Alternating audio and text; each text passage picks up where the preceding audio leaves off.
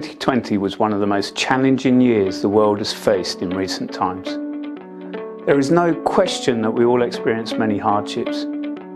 However, there are positives that we can draw upon as a result of our nation's response to COVID-19.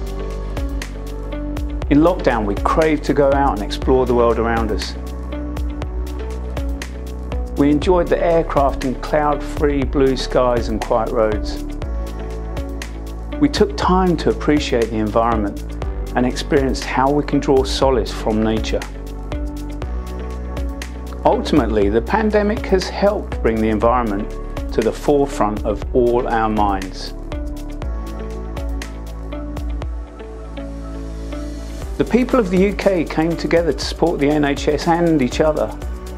Locally, we helped neighbours and the more vulnerable Businesses offered their services to support the NHS and vaccines were developed at speed.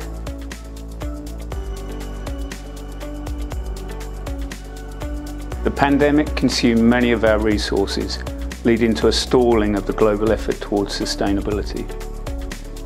But as we emerge, it's time to refocus our efforts globally, to empower those less fortunate than ourselves, to develop their own nations whilst we all work to reduce our impact on the environment.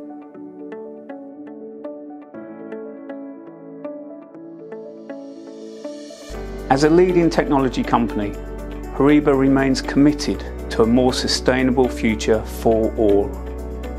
By designing and manufacturing cutting-edge technology that enables the understanding of climate change and the development of solutions to tackle it. Climate change is an issue that concerns us all. In the light of COP26, which is hosted in the UK this year, we truly hope it's a catalyst for change.